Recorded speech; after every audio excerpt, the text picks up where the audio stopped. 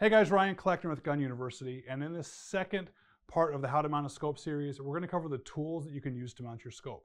Now I'm going to show you some tools that you're going to need as a bare minimum, but I'm also going to show you some tools that I think are handy that make mounting a scope a whole lot simpler.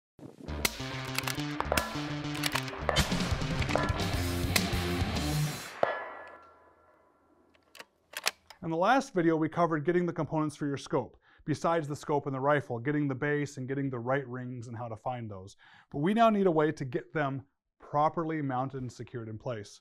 The first thing you're gonna have to be doing when you mount your scope is putting your base on your receiver. That's usually gonna use an Allen wrench or a Torx head Allen wrench of some sort. So at a bare minimum, you're gonna need the little Allen wrench that probably came with your base to mount this on here. This will work. In the next video, when we walk through how to mount this, I will show you how I use these and some tricks I have to not over torque these screws to break them or to do anything wrong.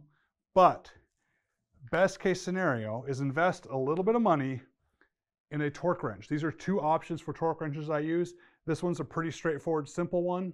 I can make adjustments on here and I can adjust the torque settings on here. These are inch pound torque wrenches. We're not putting a whole lot of torque here. They're inch pounds. So I can change these settings here on this one. Here's another torque wrench. This one's from Fix-It Sticks. This is really handy. It can be pricey, but I think it's worth it if you're going to take long range shooting seriously because this little kit can fit in your backpack or go out into the range if you need to make repairs or check on anything. And it's a little torque wrench built in. Again, I'll show you how I use these and how you can get away without them in the next video when we start setting it up.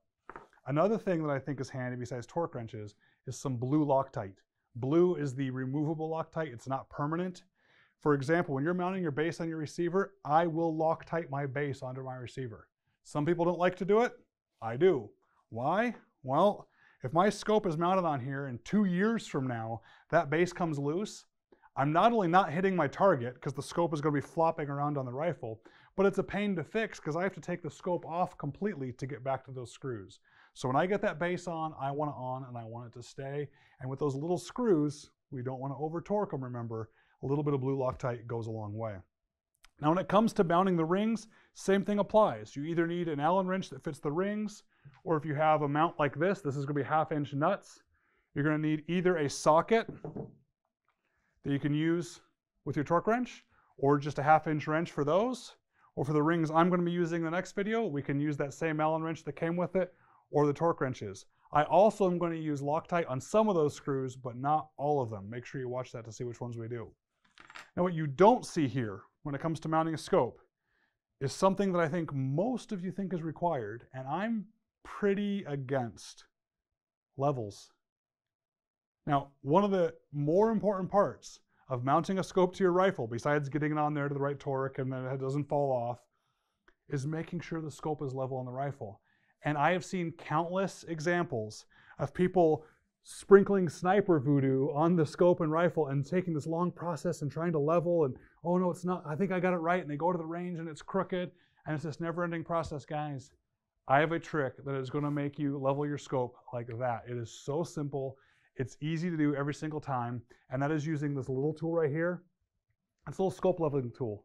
It's just two little pieces of metal. There's a few companies that make these. They're super super handy. When i first did this video for the nssf 10 years ago. I used a straight edge. They didn't have these. I think some companies listened and realized that it'd be better just to have a tool for it.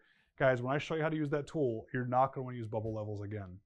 And it sure beats trying to get the rifle perfectly level, trying to get the scope level, and doing all that. So let's recap.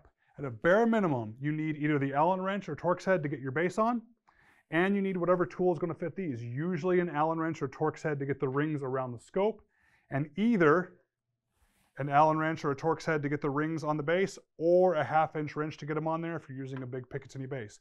That's the bare minimum. Up from that, get yourself some of that blue Loctite, and even better still, get yourself a torque wrench in inch pounds, and get yourself this little scope leveling tool, and when you follow along with the next video, it's gonna make it so much easier.